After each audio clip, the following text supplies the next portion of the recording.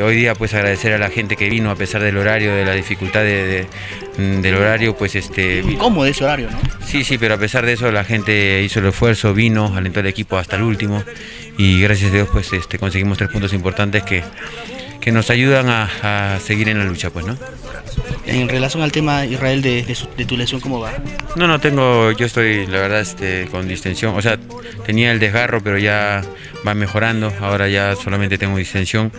Eh, hoy día o mañana creo que me voy a sacar una, ecografía para ver cómo, cómo voy evolucionando.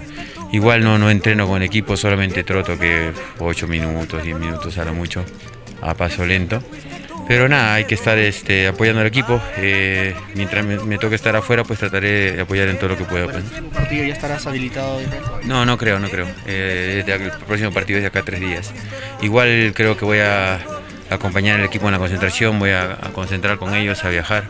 Así es que nada, como te digo, apoyarlos en lo que pueda hasta que pueda competir con ellos por un, por un puesto de... de mi